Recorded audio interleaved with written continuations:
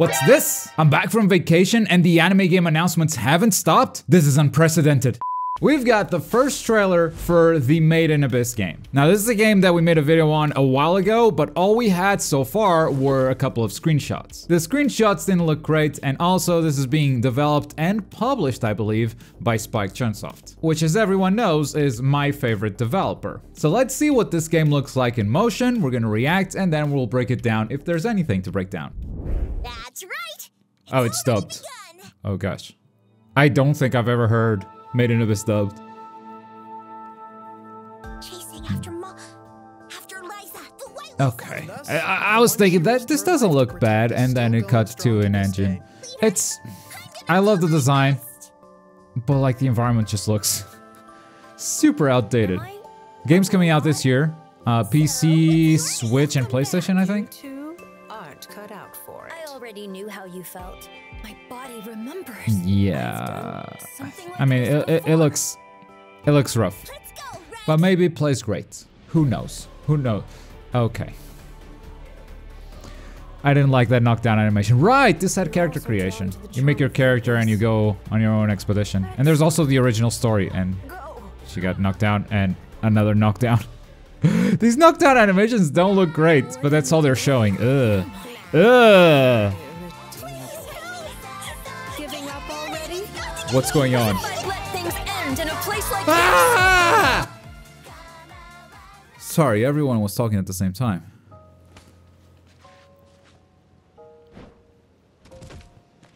Not, not cool, dude. Fall 2022. Did we have a release date? I don't think we did. Well, I did say it was coming out this year, but that's because I read the description of the video before watching it.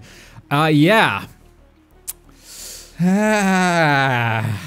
Like the graphics is like whatever. It doesn't look great, but that's not the most important thing. To me, it's more about what they chose to show and how confident they are in the gameplay that they're showing. And I don't think any of it looks good. Like first of all, you're getting knocked down by this huge lobster and the knockdown happens late. Like the attack isn't even there anymore. She's she's getting knocked down by a water ripple. And it's also just how the momentum completely stops and there's this huge falling animation that just seems annoying as hell. You can see it as these little creatures are chasing this dude, the created character. Like he first stops, yells, and then just falls to his knees. He was running, the momentum just completely stops and he falls face first into the ground. This sounds like nitpicking, but it's not. It's just animation makes games feel good. And this is not the type of animation that makes a game feel good. Then you look at combat and it's like, yep, there's an attack with a pickaxe. Oh look, a super not obvious trap at all. Let's do another fall animation where you just flip around.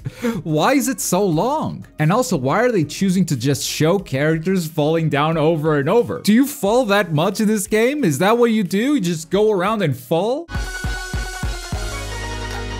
Now, what came after this, I actually did enjoy quite a bit. Not in a sadistic kind of sense, because it does get a little bit gory, but in the sense that, hey, we could just make an anime game for kids, but we're not gonna do that, because it's Made in Abyss, and Made in Abyss is fucking dark. So this is a survival game, and you see the character throwing up, probably because they went too deep into the abyss. Then you see a creature sucking the guts out of an explorer, you see the protagonist just dead. Like, it's bloody, it's gory, and I I'm kinda glad they went that far. Wait, did someone just get trampled? I completely missed this the first time. That is brutal. Steam, Switch, and PS4, those are the platforms. Look, jokes aside, I don't think Spike Chunsoft is a bad developer. I just think they've made a ton of bad arena fighters in the past. This is not an arena fighter, however, but it still looks like they have those One Punch Man falling animations, which are part of the reason why One Punch Man always felt super clunky. I don't think they learned a lesson there. that They're making a clunky ass game. Or at least that's what it looks like. Obviously, this is just a trailer and it's heavily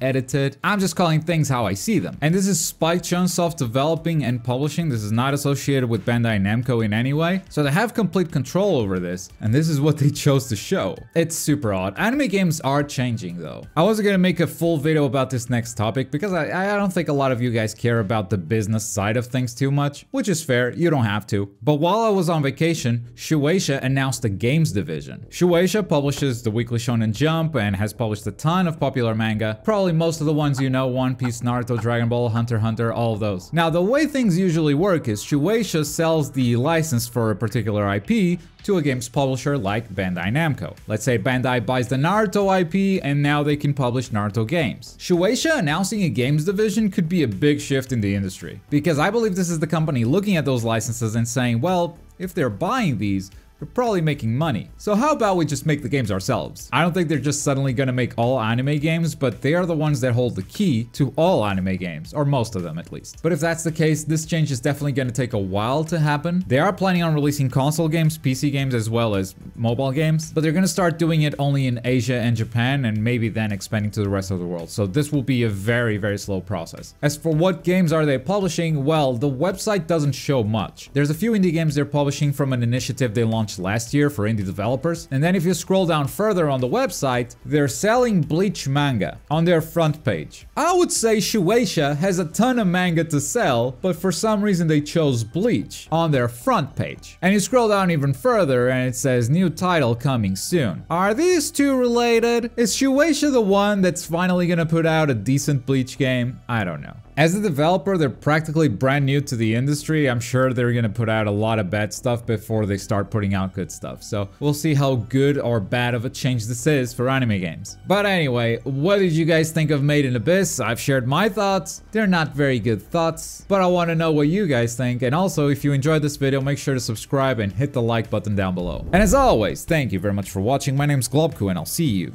next time. Bye!